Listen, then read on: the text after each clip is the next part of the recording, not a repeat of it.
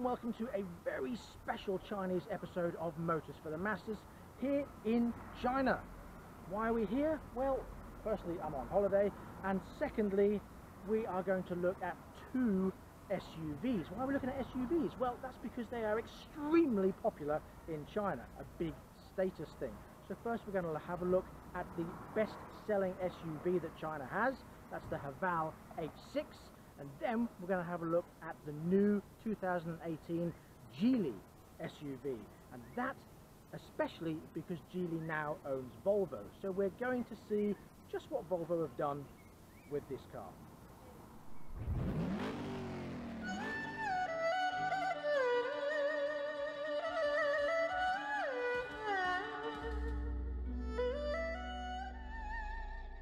First one is this, the Haval H6 from 2018 and next we'll be showing you the Geely. So the Haval H6 is powered by a 2 litre petrol engine which develops 190 brake horsepower which means it's good for 0 to 60 in some seconds. So inside it's actually very nice indeed, it's very comfortable and there's lots of sort of blue chrome in here. Now you get as most cars these days in China, the standard screen that controls everything, your phone, your sat-nav, which is very essential when you're driving around lots of Chinese towns, and of course your stereo. And the seats are really comfortable. They're leather, but very nice indeed. I absolutely love it in here. It's really nice. You've got air conditioning, you've got uh, paddle gears, which is very unusual to find in a car these days, unless of course you're spending a lot of money. You also get a massive dual sunroof and gadgets everywhere. Chinese people love gadgets and they love things that have buttons and switches and everything everywhere. And this has lots of them.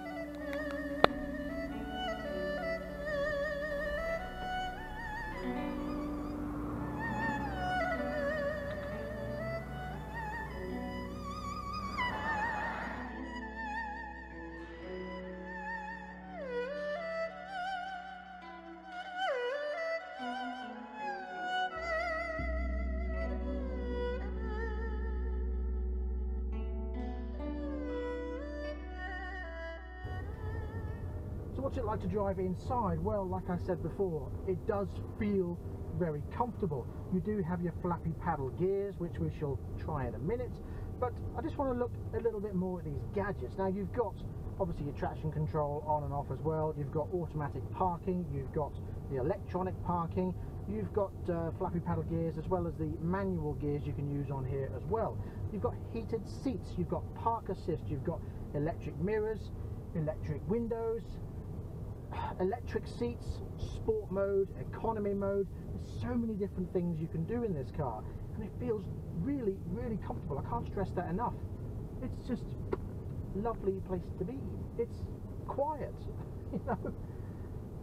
And in a minute, you're going to be very surprised at how much this car costs. Now, the Haval H6 is a very popular car in China, which is why I chose this one.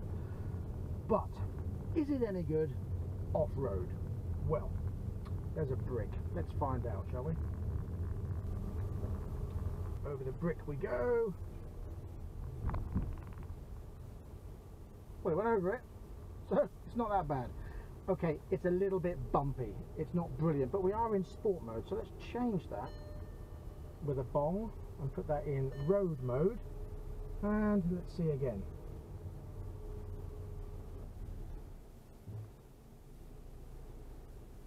Hardly felt it. Tiny little brick that was, fair enough. More a pebble. But yeah, it's okay. Now these aren't meant to go off-road, they're not really off-road cars, they are status symbols and that's what a lot of Chinese people use these cars for, as status symbols. That's why they all go for SUVs or big cars, but this one is actually really good and I'm really pleased. So let's just test out this flappy paddle gearbox, bearing in mind we're in Chinese traffic now, so you have to bear with me as I negotiate my way around everybody. Well, here's that. If we slap it into manual gears here, I'm now in third gear. into second and you don't even feel it change gear. It's really, really smooth. Now if we change up from second into third, it's amazing. Absolutely amazing. I'm staggered at how well this changes gear. You can't even feel it change gear. That is really, really good. Really good. So, what's it like in the back? Well, it's extremely spacious. Now I'm sitting here with this seat in the position that I would have it in driving, and I've got that much, I can't even stretch my fingers, that much space between my knees and the seat in front. It's extremely comfortable. Very, very spacious. This sunroof goes all the way back to make it a complete panoramic view. And I can't stress enough how much space there is in this car. I'm amazed, absolutely amazed. What about rear boot space? Well, despite everything in the back, it's still quite spacious. You've got enough to get your weekly shopping or even a pushchair. Again, lots of space. Now, the basic Haval H6 is only £12,000, but this one is the top of the range. With all the gadgets on it. This one is just £17,000. 17,000 for a brand new, top of the range SUV. Now that is a. So now let's move on to the Geely, and this is called the Geely Boyue. Now this one has the 1.8 litre turbo engine, which develops 184 horsepower, which means it's good for a 0 to 60 time of 7.8 seconds, and a top speed of 121 miles an hour. Want to see the engine? There it is. Very dirty, very dusty, but you expect that anywhere in China because it doesn't matter if you have a brand new car or an old car. Going to get dirty in the first five minutes. Let's take it for a drive.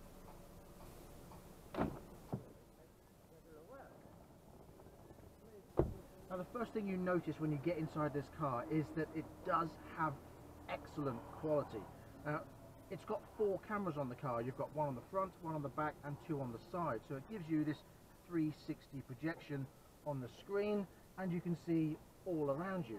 Now, of course, this has got covers on it, but under the covers, it's got very soft leather indeed, and it is great quality.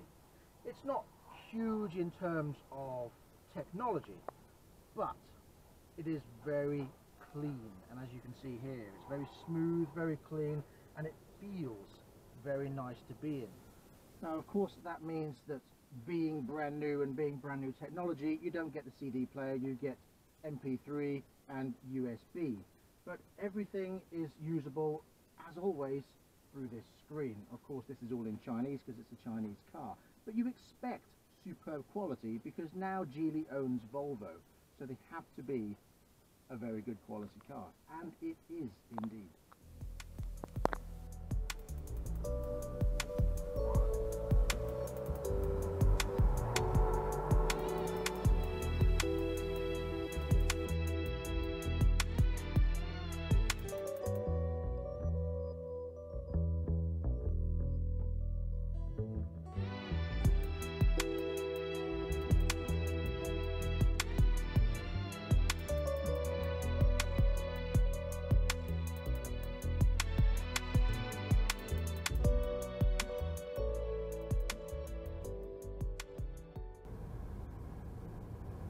Well, once you're inside the car, it is extremely nice to drive.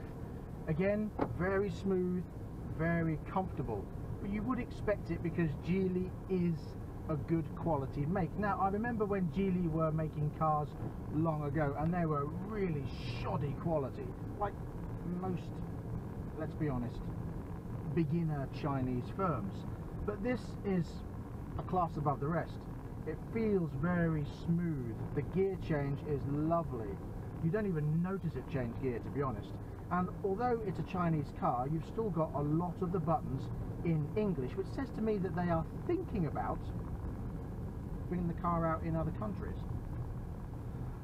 Well again what can I say? It just feels really comfortable. It doesn't feel as though you're in a Chinese car and I mean that in the nicest possible way not because I think Chinese cars are bad but because they have a reputation for being cheap and this does not feel cheap.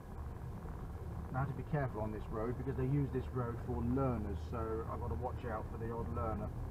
So imagine how Chinese people usually drive, in and out all over the place, and that they're learning. it's fun! So anyway, what we're going to do now, we're going to stick this in sport mode, and we're going to put a foot down and see how it goes. Are you ready?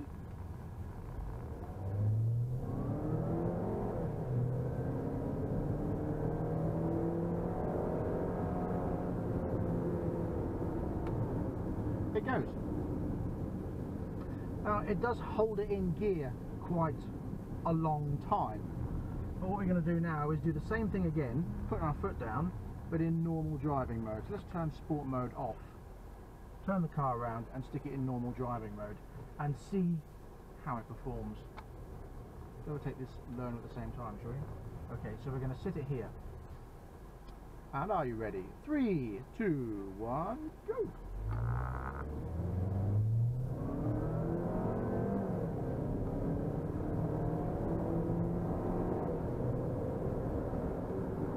Not bad at all, actually.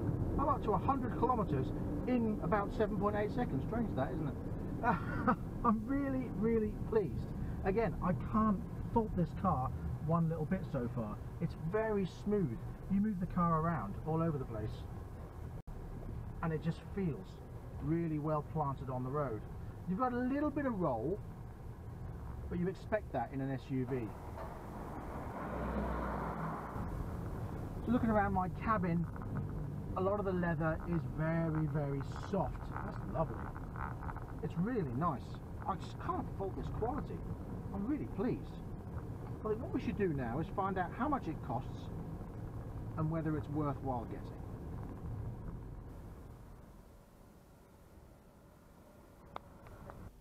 Now what this car also comes with, I don't think it's standard to be honest, is this because a lot of people don't wear their seatbelt in China. Now they're starting to bring the laws in that seatbelts are compulsory, but they don't tend to enforce it. So you tend to find this in the place of the seatbelt, and I look a bit weird wearing a seatbelt in China.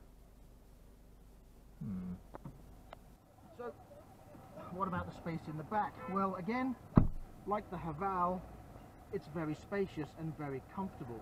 Again, they've put covers on the seats and that's not to make it more comfortable it's to basically keep them clean and protect the seats.